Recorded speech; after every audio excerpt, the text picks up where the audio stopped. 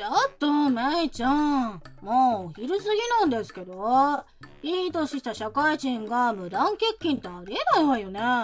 お疲れ様です、中川さん。今日は無断欠勤ではなく、有給取っております。先日事前に有給申請を出しておりますので、そちらを確認してください。え？有給はい。子供が先日の交通事故で骨折の大怪我をしちゃいまして、今日もその通院があるんです。そ、れで一日休みを取ったの？半休じゃダメだったの？受診予約は午前になってるのですが、通ってる病院の待ち時間がとにかく長くて、お会計合わせて帰るのが午後になると思われるので、念のため一日お休みをもらうことにしたんです。はあ？じゃあ今日あんたに押し付けようと思ってた仕事はどうするのよ？今日が締め切りのデータ作成がたくさんあるのよ。え？仕事を押し付けようと思ってた？そうよ。めいちゃん打ち込みスピードも速いし、頼んだら絶対に今日中に終わらせてくれると思ってたのに。なのに今日に限って休みなんて。えっと、なんだかすみません。とりあえず中川さんの仕事でしたら、ご自身で頑張ってください。ふざけないで。私一人で絶対に残業確定よ。今日は旦那との外食デートの予定があるっていうのに、どうしてくれるのよえ？どうしてと言われましても、大体ね、最近のメイちゃんは急な休みや早退が多いのよ。子供のことを理由にすれば好き勝手が許されると思ってるんでしょ？決してそんなことは思っていません。でも確かに最近は有給取得や早退が多くてすみません。どうしても子供の怪我の通院でこうするしかなくて。あい出た結局子供を理由にしちゃうのよね。それとも何かしら？子供がいない私たち夫婦への当てつけなのかしらね。そんなことはありません。はっ どうだかね。内心は子供のいない私を馬鹿にしているんでしょ？本当にそんなことはありません。休みや早退でのご迷惑をおかけしているのは重々承知です。でもその分持ち帰り仕事なので仕事ペースは守りきりますから。そんなの社会人として当然のことだっつうの。ああ、私は部下が急な休み多くて困るし、めいちゃんは子供の怪我のせいで持ち帰り仕事大変だし、いっそあんたの子供なんて交通事故でそのまま亡くなればよかったのにね。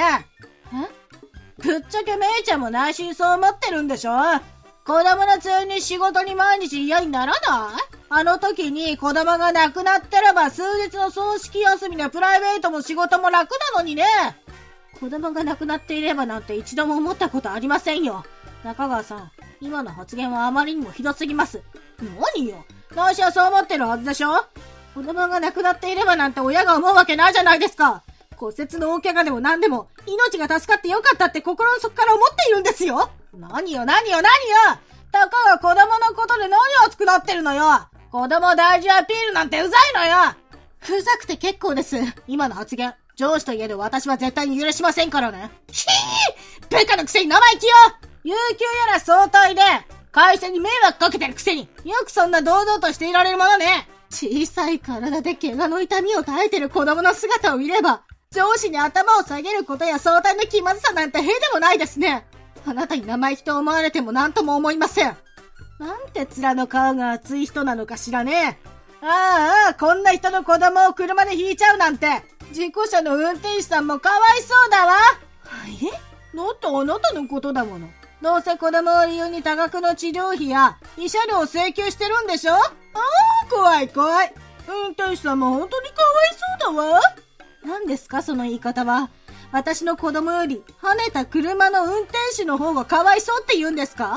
だってね、面の皮が厚いあなたなら何千万も請求してそうじゃない？大事な子供の腕には何千万もの価値があるんですよとか言っちゃって。最低ですね。よくそんなことを私に言えましたね。上司の前に人として最低の発言ですよ。うっさいわね。あんたのせいでこっちは仕事に振り回されてるのよ。少しくらい八つ当たりされたっていいじゃない。は？あ、そうだ。どうせなら、明日からあなたを経理部に移動させてあげましょうか。私をですか？それならうちの部署よりも定時上がりも簡単だし、同じワーママ社員が多いから働きやすいんじゃない？まあ、その代わり、出世街道から外れてしまうけど。色の希望はありません。私は仕事も大事なんです。この部署で大きなプロジェクトに参加し続けたいんです。でもね、有給や相対続きの社員は、うちの部には必要ないのよね。それにあなたも最低な上司がいる部署で働きたくないでしょ？こんなあなたを気遣える上司の私って、ほんと優しいよね。どこかの非常識部下は最低だとか言いやがるけど、私は最低な上司の下だとしても、この部署での仕事が大好きなんです。移動の希望はありません。今まで以上に迷惑をおかけしないよう頑張りますので、ぜひこのままこの部署で働かせてください。やだねあんただって地味な窓際部署に移動だよそんな。これから減る残業代は運転手さんにも請求してみたら？ああ、運転手さんもかわいそうに。こんな役立たずの子供を引いたせいで人生が終わるんだもんね。ぶったくりの治療費を請求されてかわいそうだわ。わかりました。ではお望み通りに請求します。えこれから減る残業代、中川さんに請求させていただきますね。ざっと毎月残業代だけで10万円。1年で120万を定年までの計算で請求してもよろしいでしょうか？ええちょっと、なんで私に請求するのよ？治療費や慰謝料の請求は子供を引いた車の運転手にでしょ？だから中川さんなんじゃないですか？え？実は交通事故の加害者はまだ見つかっていないんです。いわゆるひき逃げってやつでして。え、え、え？覚えていますか？先月の土曜日のことです。早朝に子供が犬の散歩していた時、信号無視の車にはねられたんですか？先月の土曜日？そういえば、金曜夜に同窓会があって、朝方まで飲んで潰れて、その後なんとか回復して家に帰ったような。これは飲酒の可能性大ですね。そ、そんなことないわ運転する前にたくさん水は飲んでおいたし、子供と接触なんてそんな、ああ。目撃者も少なかったし、泣き寝入りかと諦めていたんですけどね。警察の方が頑張って見つけ出してくれたんですよ。近隣住宅が設置している防犯カメラにバッチリ映っていたみたいなんです。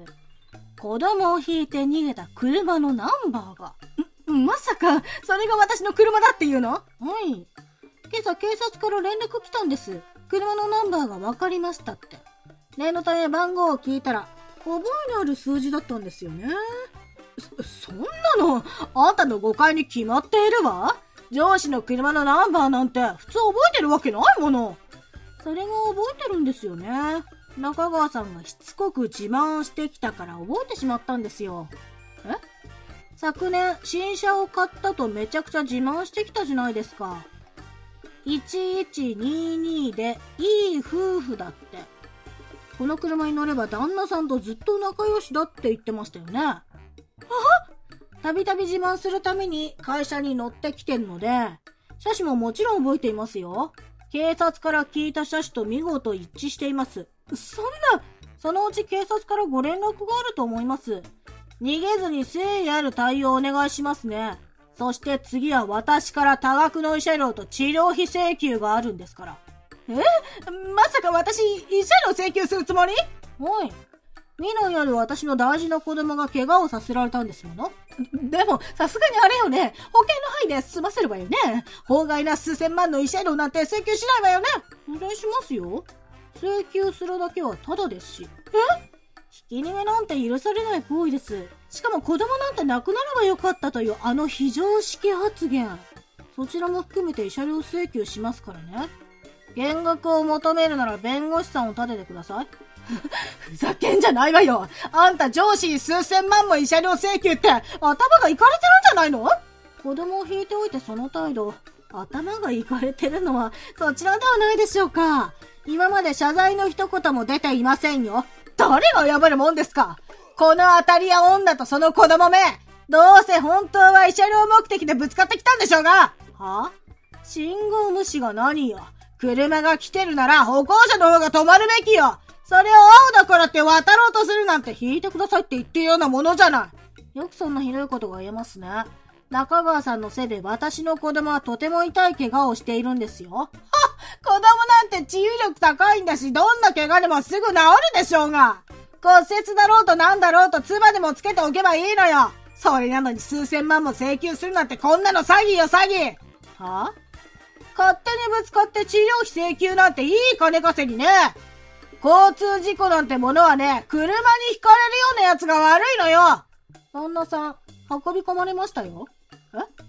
子供の診察が終わって今、待合室にいるんですが、やけに看護師さんやお医者さんが騒がしくって、聞いたら飲酒運転の被害者が運び込まれたそうです。え、え、え？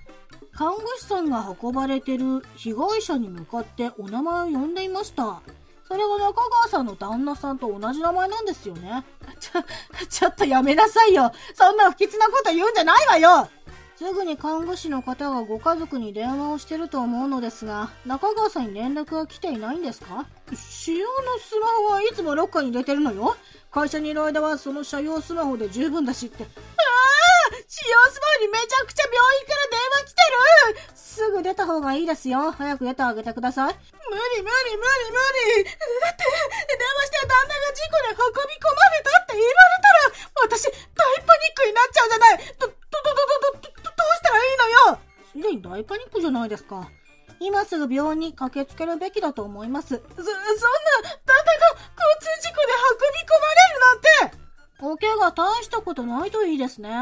まあでも骨折とかだと大変ですし、いっそ亡くなった方が中川さん的には助かるんでしたっけ？ああなたね、こんな時になんてことを言うのよこれは中川さんが私に言った言葉です。あ私も同じような気持ちになったので、中川さんの怒りの気持ちとてもよくわかりますよ。えっと、ああの、それは、どうぞ今は旦那さんのために病院に駆けつけてあげてください。でも私の子供のひき逃げ犯として後日罪は償ってもらいますからね。では、これで失礼します。中川さんの旦那さんは奇跡的に軽傷で、命に別状もなければ骨折もありませんでした。そして中川さんは警察からの呼び出しもあり、その後すぐにひき逃げ犯として逮捕。さすがに心から反省しているのか、慰謝料治療費の請求についても、今は弁護士さんを介してスムーズな話し合いができています。最後までご視聴いただきありがとうございました。この動画がスカッとした方は高評価ボタンをそれ以外の方は下のコメント欄でご意見をお聞かせください。チャンネル登録もよろしくお願いします。あなたの評価やコメントが今後の励みになります。また他にもあなたをスカッとさせられる動画がたくさんありますので当チャンネル内の動画をぜひご覧になってくださいね。それでは次の動画でお会いしましょう。緑のネタ帳でした。